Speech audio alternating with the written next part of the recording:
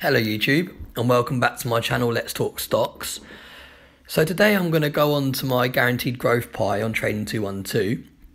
So originally when you saw me set this one up, I've put £50 a month to invest every single month at the end of the month. So already I'm getting a bit itchy feet. I just want to watch the, the pot grow. So I've decided to actually change how regularly the money goes in. So in the in the long term, I reckon this will actually benefit me as well because the stock market at the moment is on an upward trend. It's slowly recovering from when it had the crash last March.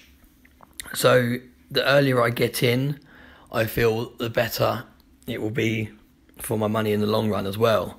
So not only will it make it more fun to watch my portfolio grow quicker, It'll also, I think, like I said, over the course of the long run, actually benefit me to be getting in every single week instead of waiting to the end of the month when I might have missed some lower buy-in rates, if that makes sense. So how to do that? You can do this anytime you want. So this is my guaranteed growth portfolio. The stock market's closed because we're at the weekend, so you won't see it moving up and down like it normally does. And you want to go over to the auto invest option now you see where it says the investment plan and the investment schedule is set to £50 every single month. So what I'm going to do, I'm going to click the little settings cog next to where it says investment plan. So if you look down the bottom, you can see where it says change schedule.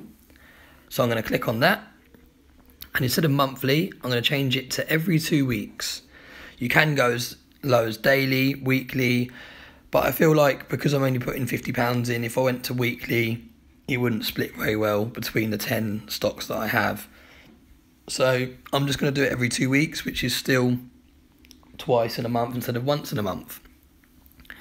I'm going to do it Wednesday instead of Saturday. I always like to change whatever the default option is, just because in my head I think a lot of people will leave it on the default option.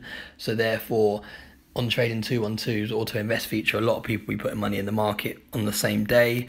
So I think it could fluctuate the prices so I like to just sort of mix it up a little bit. So I'm going to choose Wednesday. I'm going to click set.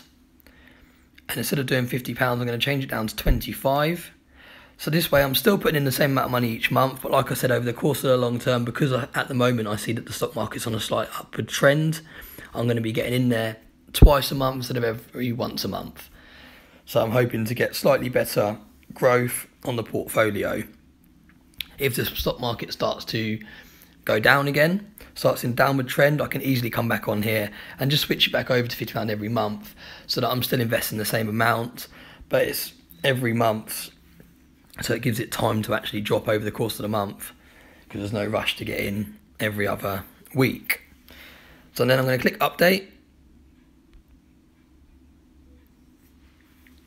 So that's updated. So every two weeks on a Wednesday, I'll be inputting in £25. So it's just something to thinking about doing. Um, why you can see the market's on an upward trend. It just makes it more interesting as well because you can actually watch your portfolio grow quicker every two weeks instead of having to wait a month for the next instalment. It's going to make my YouTube content easier also because I won't have to wait each month in between my portfolio updates. I can actually do them more regularly, although it will be growing slightly slower. I'll be able to put out more content. So they're the reasons why I've decided to change it. Thanks for watching. Let me know your views. Let me know what you do on your pie. Do you auto invest? Do you manually invest? Do you do it monthly? Do you do it weekly? I'll be interested to hear how you invest into your portfolio. Thanks again for watching, and I'll see you in the next one.